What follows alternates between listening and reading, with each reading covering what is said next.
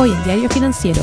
31 de marzo, la sueca SCA reorganiza la operación regional tras el caso de colusión con papelera de los mate. La entidad creó una nueva unidad de negocios exclusiva para Latinoamérica que reporta directamente al director ejecutivo e implementó políticas de denuncia de ilícitos en Chile.